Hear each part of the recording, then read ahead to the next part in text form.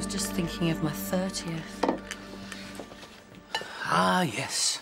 I remember it well. Ten years ago today, we were strolling down the Champs-Élysées.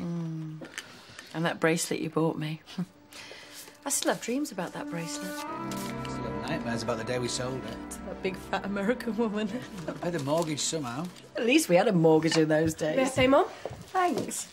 Anything in the post I should know about? Yeah, but only two. And I'll probably bring us into work. I'm not talking about birthday cards. Oh, no. No, there's no sign. Yeah, I'll probably come second post.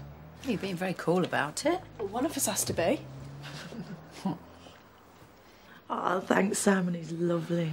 Well, you can't go right around the other side of the world and not bring your mate a souvenir back, can you? Henry's upset because I didn't bring him a surfboard back. Chris, it's too early for cake. Oh, it's never too early for cake. Let's eat it quick before Jackie gets here. Sorry, Karen, if I'd have known it was your birthday, I'd have brought you something back and all. No, it's all right, Simon. I don't want anything, really. Are you having a party, at hope? No, I don't want to make a big deal out of it. You're only 40 once.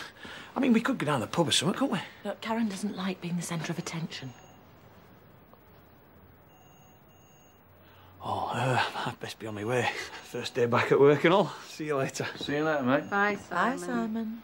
Might look like an ordinary cuddly kangaroo, but it's ancient Aboriginal custom. That's a true symbol of love and devotion. Mm, Thank you very much, Chris. That's enough.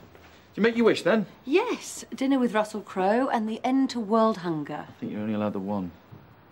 Russell is then.